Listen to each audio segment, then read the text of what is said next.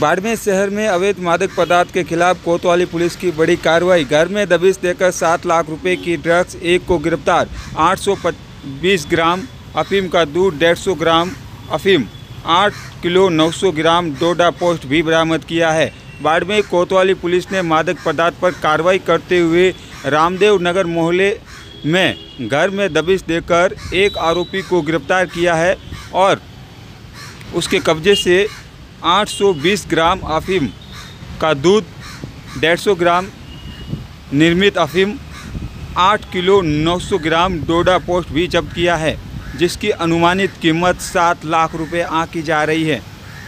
Police के अनुसार मुखबिर से इतला मिली थी।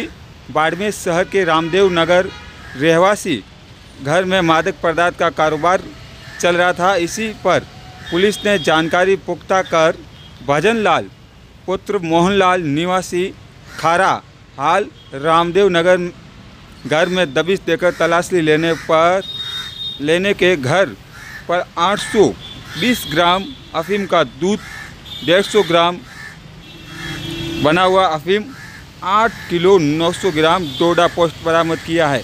फ़िलहाल आपकी मोबाइल स्क्रीन पर जो तस्वीर नज़र आ रही हैं, जो व्यक्ति पुलिस के बीच में बैठा हुआ नज़र आ रहा है इस व्यक्ति को पुलिस ने गिरफ़्तार कर उसके कब्जे में अवैध मादक पदार्थ भी बरामद किए हैं। अब इस पूरे मामले को लेकर पुलिस का क्या कहना है, जरा सुनिएगा। शुक्रिया।